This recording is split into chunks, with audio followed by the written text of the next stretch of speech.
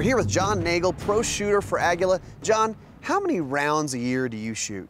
My annual rimfire budget is 100,000 rounds. 100,000 rounds, and you and like you said, you mainly focus on rimfire. Correct. And you're a speed shooter. That is correct. So we thought we're here, we got the man, we have the rifle, we have five mags, 10 rounds each. How fast can you shoot 50 rounds? Uh, we're going to try for under 15 seconds. Under 15 seconds. Let's give it a shot.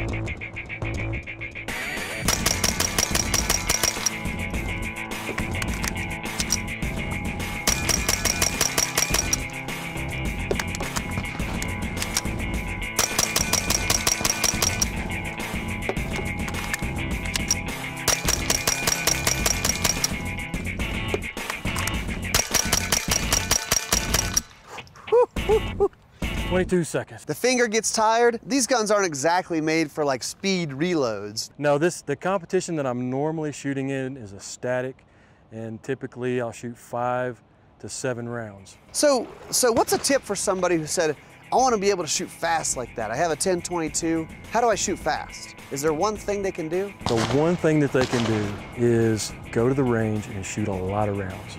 So mind-blowing advice. If you want to get better, go practice. How about that?